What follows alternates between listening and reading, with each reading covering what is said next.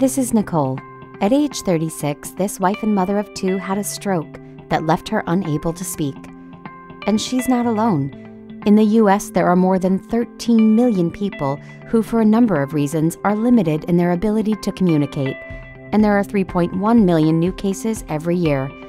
That's why at Dynavox, we created more than just another speech generating device. We created the Dynavox ecosystem. With the Dynavox ecosystem, individuals like Nicole and those that support her have flexible, collaborative options for communicating. This includes the Dynavox T10 tablet, a dedicated speech generating device that Nicole uses to communicate. MyDynavox.com, a web portal that makes it easy for Nicole's SLPs, caregivers, and family members to create and share tools for communication. And the Dynavox Compass editing software for customizing communication pages and photographs.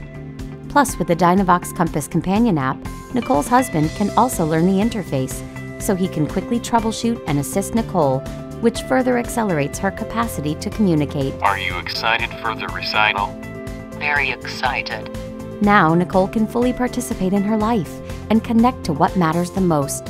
You are a beautiful ballerina. That's communication without compromise.